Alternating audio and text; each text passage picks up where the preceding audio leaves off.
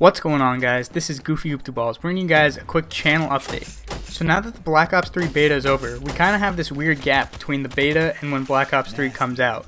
And so obviously when Black Ops 3 comes out, because I'm really enjoying this game so far from the beta, I plan to upload consistently like I did with Advanced Warfare. Videos 3 to 4 days a week, tips and tricks, gameplays, everything just like normal.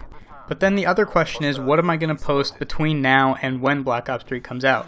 And like I mentioned in one of my other videos, I'm really not playing a lot of Advanced Warfare anymore, so I really probably won't make too many Advanced Warfare videos. Maybe a couple tips and tricks, maybe a few gameplays here and there, but nothing too major. I won't be uploading consistent content of Advanced Warfare between now and when Black Ops 3 comes out.